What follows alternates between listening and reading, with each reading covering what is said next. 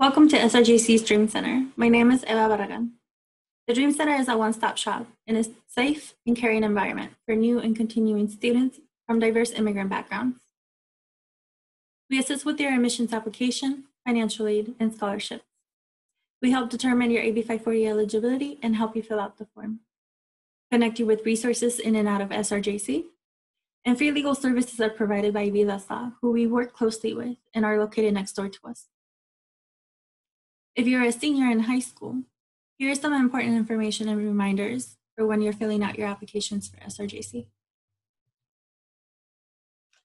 As a DACA student or undocumented student, when filling out your admissions application throughout CCC Apply, the citizenship question, you will select Other and checkmark the box that says No Documents.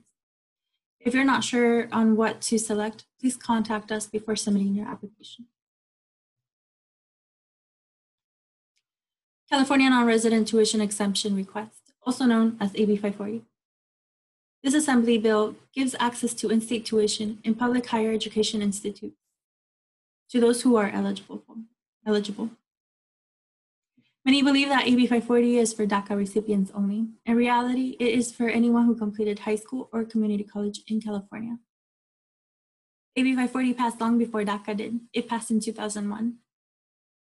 This is for students who attended and completed three years of high school in California and received either a California high school diploma or a California GED or equivalent. Later in 2014, AB 2000 passed. This provides eligibility for those who completed the equivalent of three years or more of a California high school education but graduated early from the California high school and attended three years or more of either California middle school or California elementary school. Most recently in 2017, Senate Bill 68 passed. This provides eligibility for those who completed non, enough non-credit hours or units at a California community college and e either have a California high school diploma, California GED, or a California associate's degree. As a dual enrollment student, you do not need to submit an AB 540. For those who will be graduating in May or June, starting in April, you will want to submit your AB 540 either online through the admissions page under forms or via email to us at Dream Center. When signing this form, you are declaring that the information provided is true. This is a legal document. Therefore, if you are not sure how to fill it out or if you are eligible for it, please contact us and we'll be more than happy to help you out and figure out if you are eligible for the AB 540 or not. This is a screenshot of the first page of AB 540, part of the AB 540.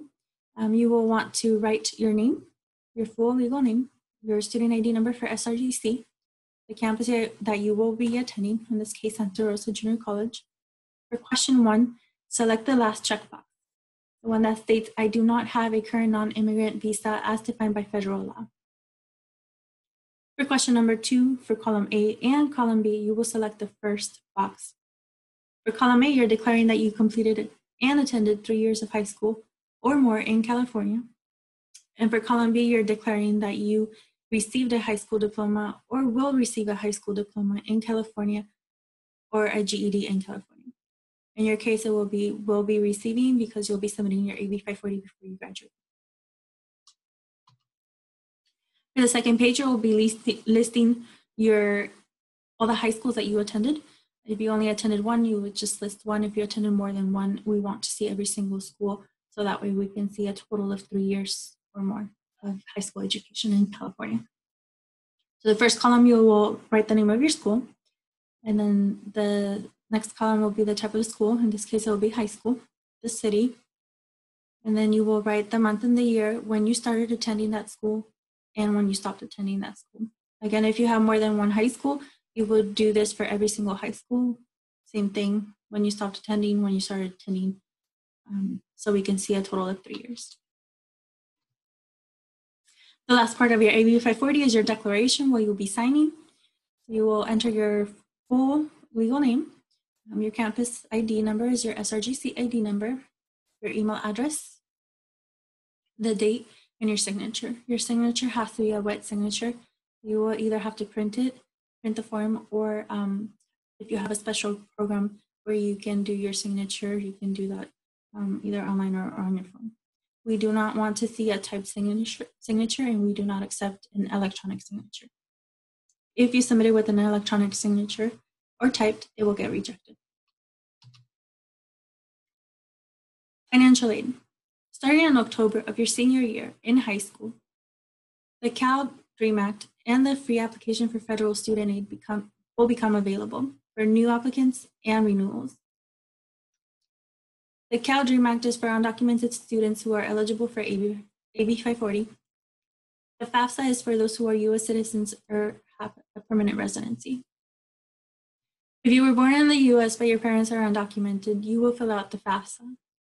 It is important that you submit your financial aid application before March 2nd. Otherwise, you will jeopardize your Cal Grant eligibility. The Cal Grant, the Cal, I'm sorry, the Cal Dream Act application will determine your eligibility for Cal Grant, California College Promise Grant, and scholarships. The FAFSA will determine your eligibility for federal and state aid, as well as the California College Promise Grant and scholarships. For the Doyle Scholarship, your Cal, Cal Dream Act or your FAFSA will be used as your application for this scholarship. To be eligible, you need to maintain a GPA of 2.0 or higher.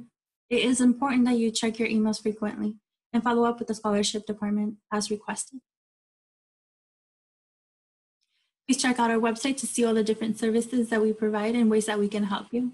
Contact us if you have any questions, need assistance, or want us to review your applications before you submit them.